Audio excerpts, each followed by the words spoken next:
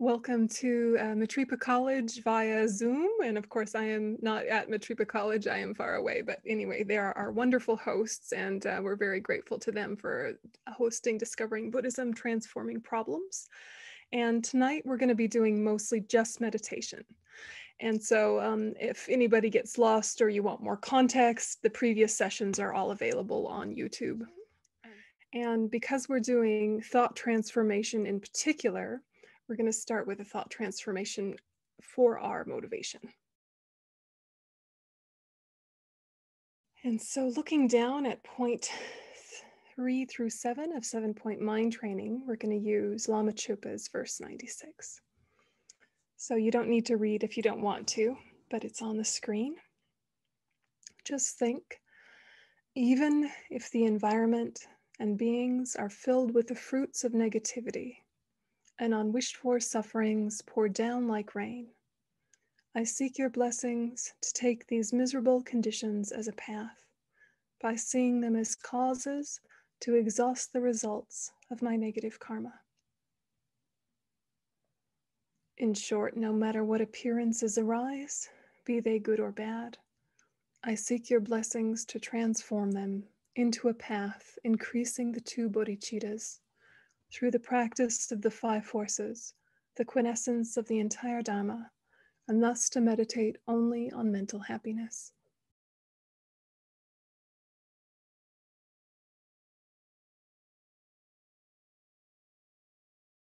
And then refuge in bodhicitta. Sangye juron soge chunam la janchu padu dani kapsuchi dagi chunyan gi pe sonam ki drola pinche sangye drupa sho sangye chudon soge chunam la janchu padu dani kapsuchi Dagi chunyan gi pe sonam ki drola penche sange drupa sho. Sange chudon so ki chunam na. Janju badu dane chi dagi chunyan gi pe sonam ki drola penche sange drupa sho and allow that motivation to settle in.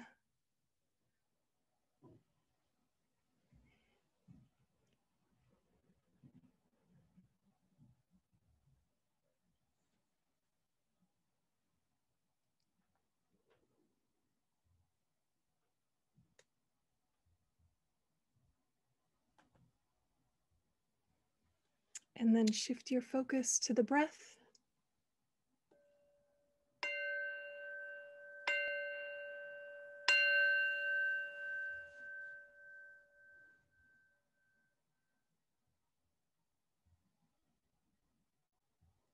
Just the breath.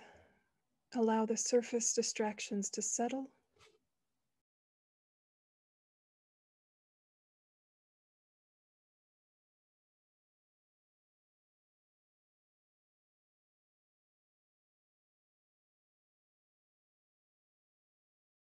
You're not going to agree or disagree with any of your thoughts. You're not going to suppress them or feed them. You're just letting them go like clouds in the sky, keeping your focus tethered to the breath.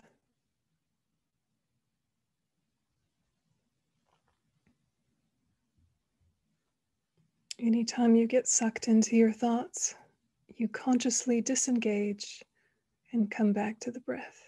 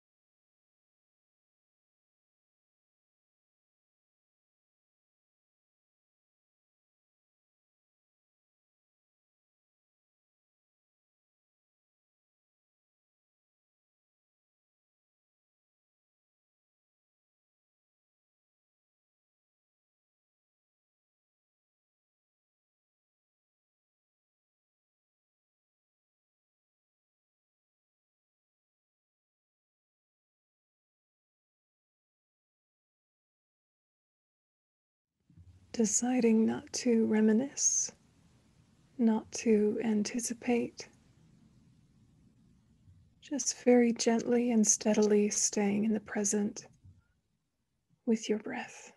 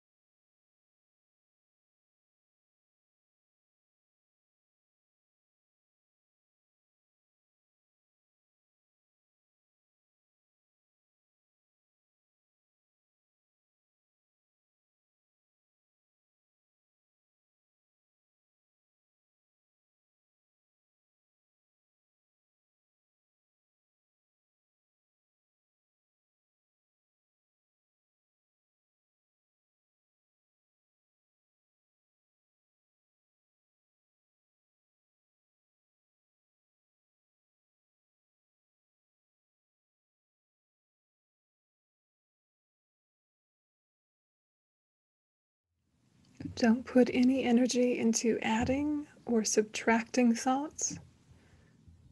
Just choose not to give them your interest.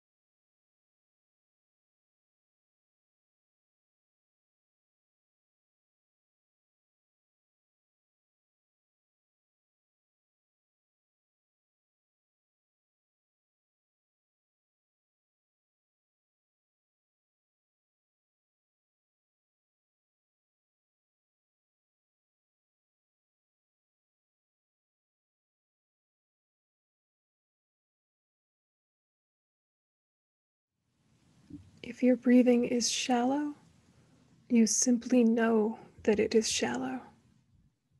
If your breathing is deep, you simply know that it is deep.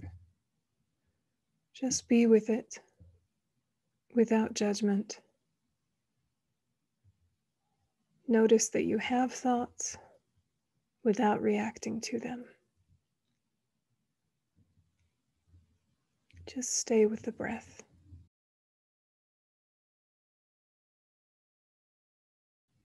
Allow calmness and clarity to reassert themselves naturally. Nothing forced.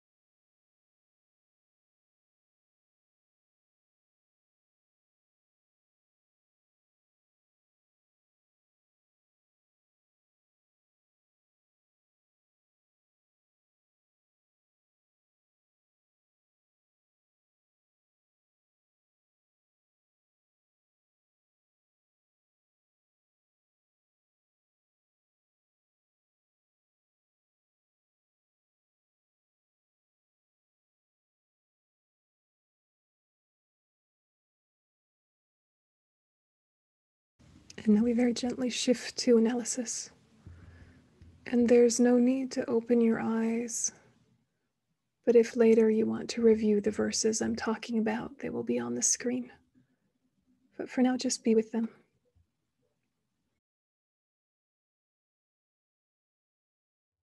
From Guide to a Bodhisattva's Way of Life by Master Shantideva. Unruly beings are as unlimited as space. They cannot possibly all be overcome. But if I overcome thoughts of anger alone, this will be equivalent to vanquishing all foes.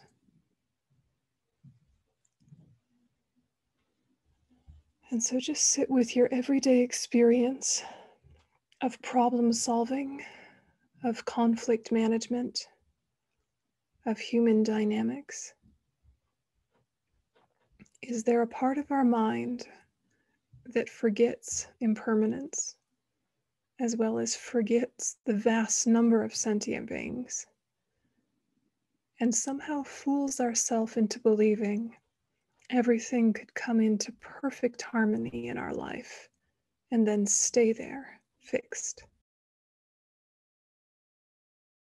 Is there that slightly irrational part of ourself that really does believe stability and harmony externally can be achieved? Just check.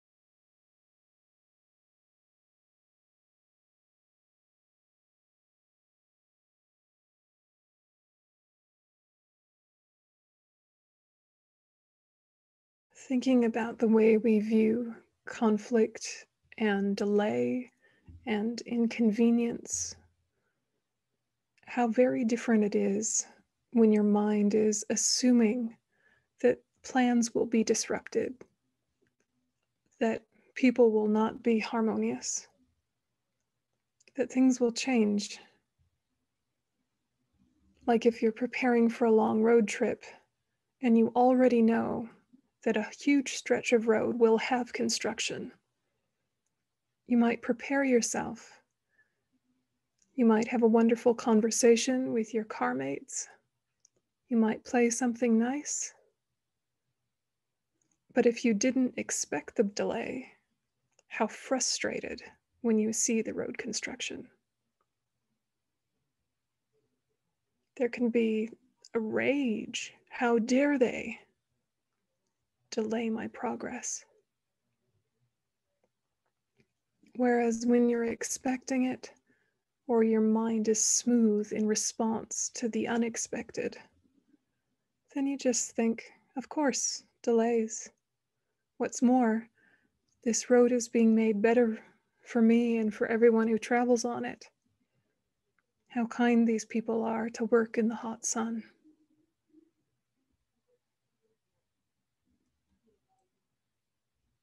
How hard it must be for these people to work in this way. I'm in a comfy car. So just take an example of something like that. The difference in your mind when you expected inconvenience, when you expected the unexpected or disruption, as opposed to those times where you assumed things would go smoothly.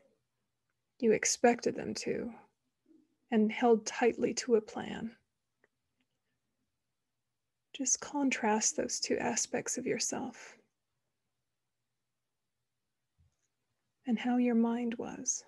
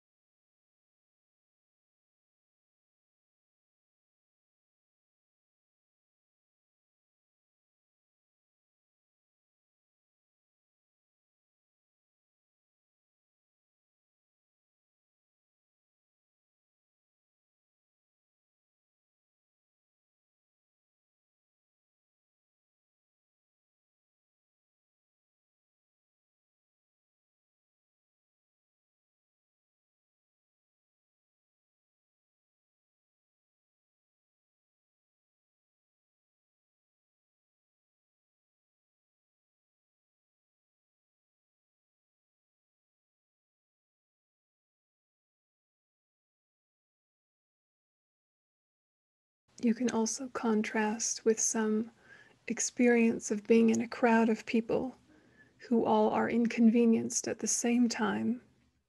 And it was one of those magic days where something cracked in the social fabric and strangers began to speak to each other, laughing about the inconvenience, laughing at themselves for assuming that there wouldn't be. Maybe you're all waiting for something like a concert, or maybe you're stuck in the grocery store and there's long, long lines and something shifts where people stop thinking, I am being inconvenienced.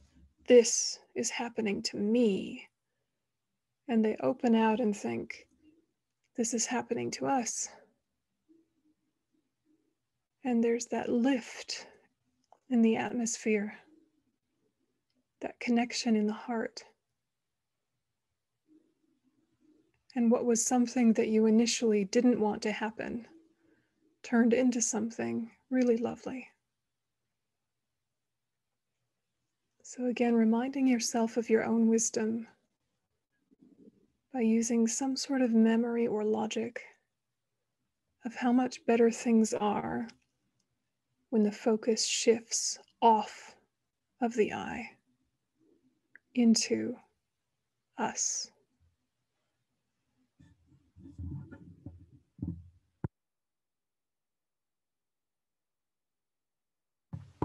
especially when that us is without any sense of them.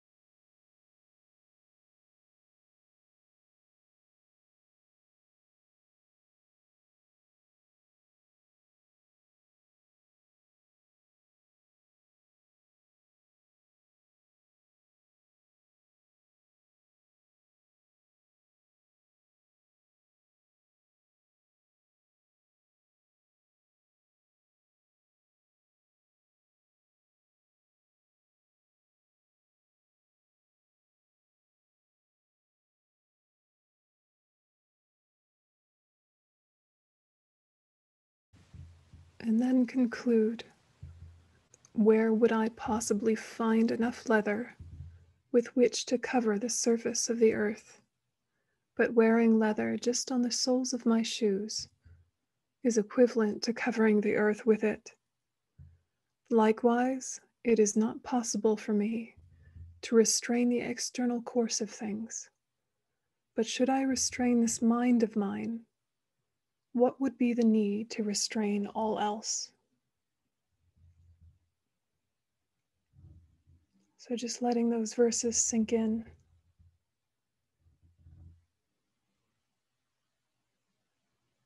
Then a mind filled with bodhicitta, altruism, compassion is also a protected mind for you as an individual. Then there are no enemies, no inconveniences, no matter what is happening externally. You have your peace. And from that place of peace, you have creativity if an external solution is needed.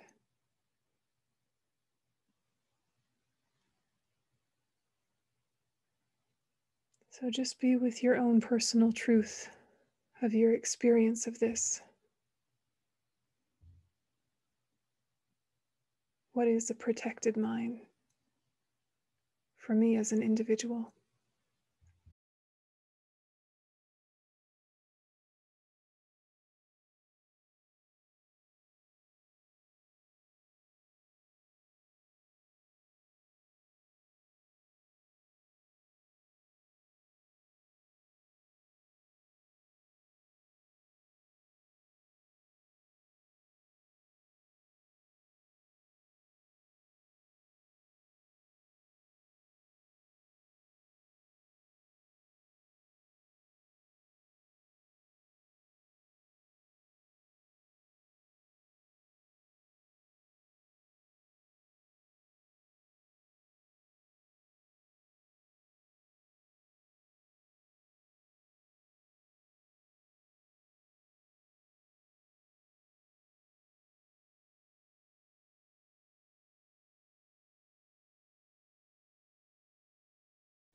And think, may all the energy I put into these thoughts go towards those aims.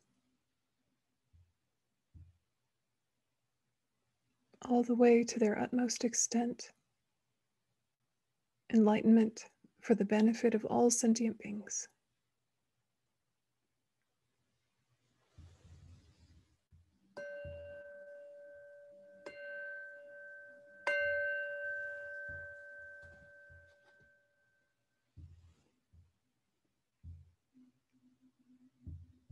Okay, so you can relax your attention. And if you need to change positions or shift, does anyone have any immediate impressions or um, hanging doubts before we shift gears to another meditation? Anything that is right on the surface of your mind?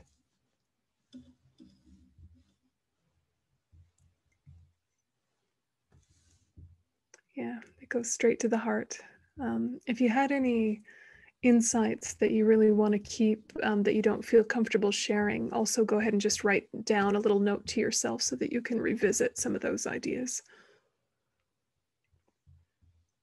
When we look at verses like this from Shantideva, a few things can come to mind. One can be how innovative and practical and amazing Shantideva is, but also, what can occur to us is sometimes uh, a noticing our own deficiency or inability to do this, or all the times that we knew better, we knew we should do this, and then we didn't, and we feel bad about ourselves.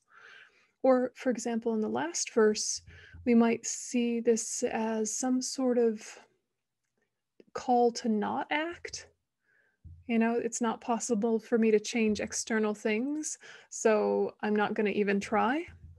So these are some of the sort of resistance thoughts or confused thoughts that can come in response to this kind of analysis. So, you know, we remember that with with all of these Lojong teachings that it is a, an invitation for inner work. When your inner work is well organized and well centered and you have the strength to maintain your peace of mind, then you can add more and more levels of disruptive chaos in your life to your practice, and it still doesn't rock the steadiness or the peace of your mind. So it's not like you're, you know, chasing inconvenience or chasing hardship, of course not. But it means that as your mind really, really integrates this idea that everything difficult can be transformative. Everything hard that I didn't want can be the very thing that opens my heart wider. The more we repeat that thought again and again from a million different angles, the stronger and more robust our mind and our heart are in response to everyday conflict. Things just don't get to us. Then, you know, there can be the things don't get to us very often because we've been doing this a long time and then when something does, we're so disappointed in ourselves. You know, we think, oh, I thought I was better than this. I've been, you know, thinking about these things for years from a million different angles from psychology, from poetry, from Buddhism, from everything. And how is it that after all these years, I still lose my temper or I still lose my peace? And I think it's really important to remember that Dharma practice is linear-ish right? Linear-ish. You go forward and then you go back and then you go forward and then you go back. But also when you lose connection with your path you might be just as quote bad as you ever were before you met the path. You might actually be that bad and it's a shock to you. And then you forget that that worst version of you used to happen a lot and now it happens you know once every five years or something. So you know you're shocked at yourself that you could lose it in that way that you thought you were totally finished with and then you forget that actually the frequency of losing mindfulness and the strength of your afflictions has really shrunk over time. So when you do lose it you know you might lose it as bad as you ever did or you might internally lose it as bad as you ever did but you can guard your speech better you know hopefully but you know every once in a while people just you know, blow their top. Give yourself that forgiveness. Give yourself that kind of grace. I know these aren't Buddhist words that we use very often, but they are woven in, which is to understand that everything is easier through familiarity. So if it's not easy, it's not familiar. Yeah, not you're bad, not you're deficient, not it's something you're missing. Yeah, it's just needs more repetition. Yep. So when you've do, done a meditation like this, after the meditation is finished, just kind of sit with your knowing of the truth of it for a second. You know, maybe there's a phrase like, why am I trying to cover the whole world with leather when I could just be wearing shoes? you know, you can just summarize it into your own words and just be right. All day I was putting out fires and putting out fires and fixing this and emailing that and texting this. And if I had started with, how about I just reconnect with my own peace of mind? How urgent would all of those other seeming fires be? Would they actually be fires to be put out? Or maybe only one of them and the rest of them could wait, you know, and maybe they would solve themselves and maybe they didn't even need my interference or input.